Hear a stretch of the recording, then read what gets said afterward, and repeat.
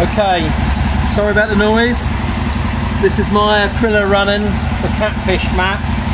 After having the valves adjusted, the throttle on idle was really up and down to the point where it was cutting out, stalling, um, being a complete and utter bitch.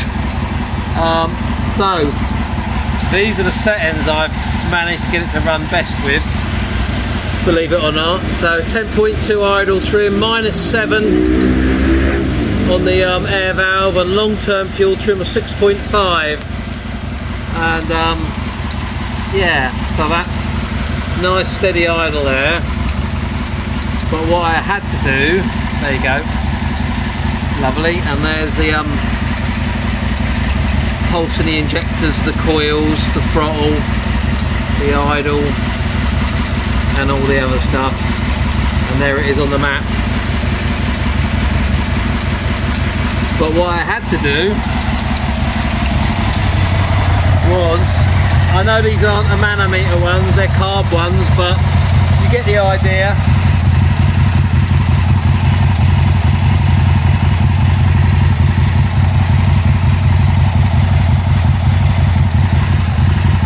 So this one here going to the is going to the rear cylinder.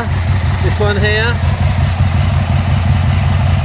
So I wanted more suction on that one than that one, but it's not really turned out that way. So because I believe, well, I know this is a big debate, but they're fairly close. They're fairly close. So got it connected up here, front one, here the rear one, and you can adjust them in here. One on both throttle bodies, but and that's with the fan coming on now. Nice steady idle. Little pop through my um, cans, sucks a bit of air in. Um, yeah. Hang on, let me turn that off, and we'll restart it in a bit fan still running. So getting back to the, um, obviously I've lost comms because I've just turned ignition off. But getting back to the uh, vacuum gauges on this bike, uh, because it the rear cylinder has to turn the crank 420 degrees. That's a, a lot of energy. I believe it has greater fueling and greater air to the rear cylinder because the front cylinder only has to turn it 300 um, this is how it is with the other Generation 1 bikes, and the, the, the crank rotation is still the same.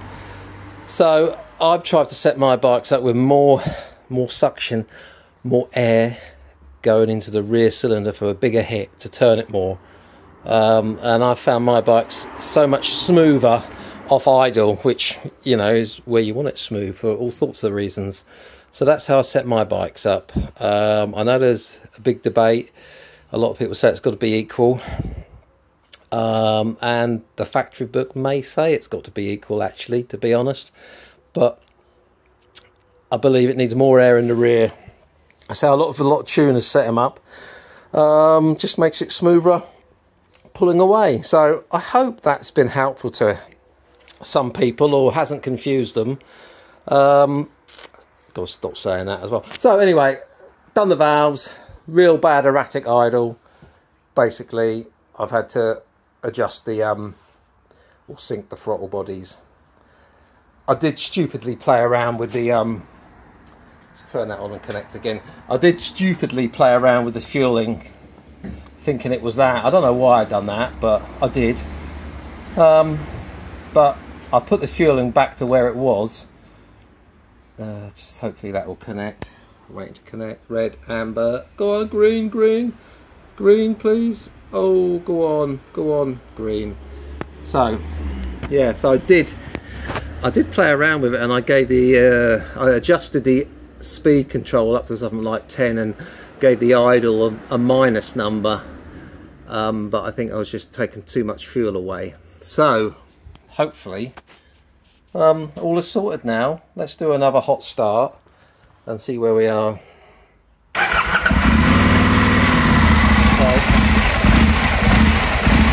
here we go, it's hunting again.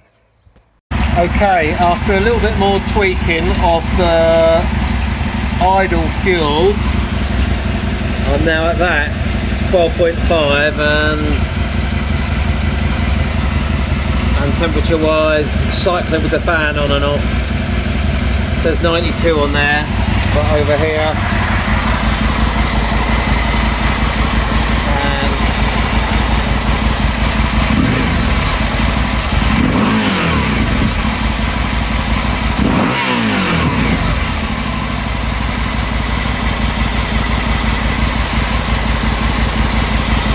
quite stable. So I think I'm going to leave it at that. Um, so this one is my rear one. And as you can see it's got a little bit more vacuum than this one. So in my mind the rear one's getting more air and I'm sure somebody will be able to tell me. I don't know which one out of these two oh sorry this one here 1.8 1.7 I don't know which one's the front and one the rear. I was gonna say I assume the first one was the front one but that's reasonably well they are different but I would have thought the rear one was putting more fuel in it I suppose if you go to the map. Um, and you go to two compare that one with that one.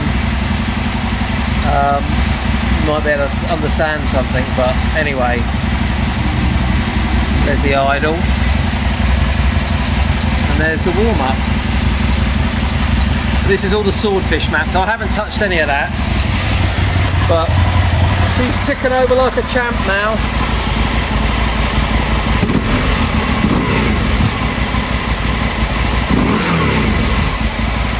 So valves adjusted and if you do adjust the valves, there goes the fan cutting in again. If you do adjust the valves or if you adjust six like I did, make sure you check the throttle bodies. Um, I hope this helps somebody. I've learnt something. Not to bloody touch these trims. Looks excessive, but I think what I'll do, I'll run it for a bit and I'll do a plug check um, to check it over, see what the plug is. So the idle looks a little bit lower there now 1280. Oh, hang on, let's have a look. Let's put it on diagnostics. Oh, there you go. That's a bit better. 13, 13 So yeah, I'm, I'm happy with that. I'm happy with that. So there's the setting. So I hope that helps somebody. Um, yeah. Didn't tell you I fell off it yesterday. Hence the mud everywhere. Boy, these are heavy. That's alright, people show you on a nice bit of grass or concrete where you can get purchased, but my bike was in the mud. And the further I pushed it, excuse me, it just slid backwards. so somebody had to help me move it. Anyway, it's enough waffling for me.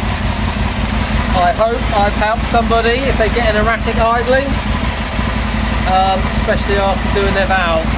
And there's my gauges all working nicely. So 28 degrees in there guys.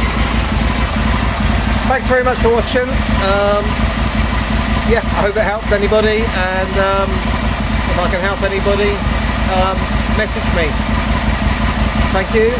Good night.